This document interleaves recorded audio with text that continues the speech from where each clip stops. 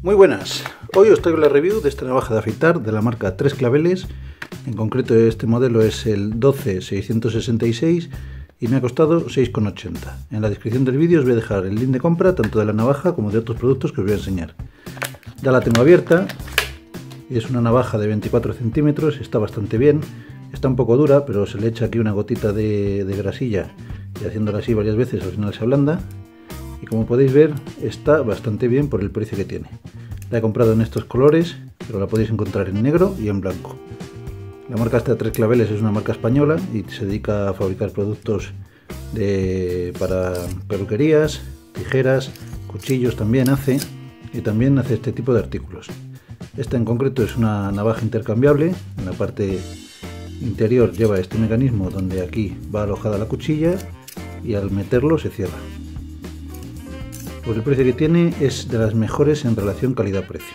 El mango es de plástico, no es un plástico muy bueno, pero sí tiene la calidad suficiente por el precio que, vale. Yo la voy a utilizar junto con otros productos, que son en concreto esta brocha de pelo de tejón de la marca Wilkinson, la podéis encontrar también en, en, Amazon, ahora mismo está un poco mojada porque me he afeitado hace un rato, todavía sigue húmeda, y la espuma que utilizo es esta de la marca Lea, que con muy poquito jabón que le pongamos hace bastante espuma está bastante bien. Además voy a utilizar estas cuchillas, que las voy a estrenar hoy, no sé qué tal serán. Y os voy a enseñar también a montarlas. Poner las cuchillas en la navaja es muy sencillo, con estos dos dedos los pondremos debajo y presionaremos haciendo ángulo para que parta. En el momento que parta se oye un clic y lo que tenemos que hacer es, sin quitar el papel de cera, partir por la mitad. Así evitaremos cortarnos.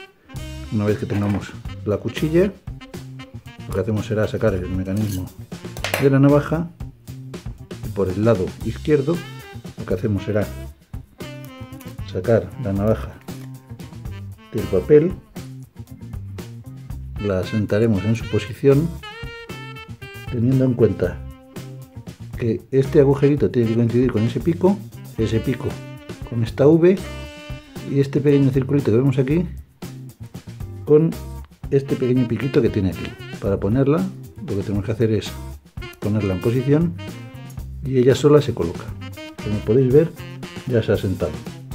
En caso de que no hubiese sentado bien, con las uñas podemos empujar aquí y aquí para poderla poner bien en su sitio. Como está claro, nunca hacer presión en la hoja. Y una vez que tengamos puesta la cuchilla en la navaja, lo que hacemos será introducir el mecanismo en la propia navaja y ya queda cerrado.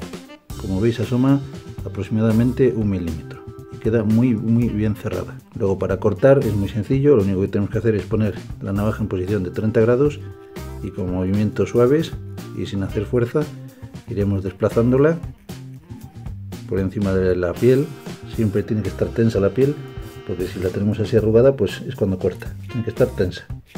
Como veis corta bastante bien. Bueno pues como veis es una navaja bastante sencilla, pero a la vez bastante eficaz. En la descripción del vídeo, como digo, os voy a dejar el link de compra de todos los productos. Y si os ha gustado la review, darle al like y suscribiros.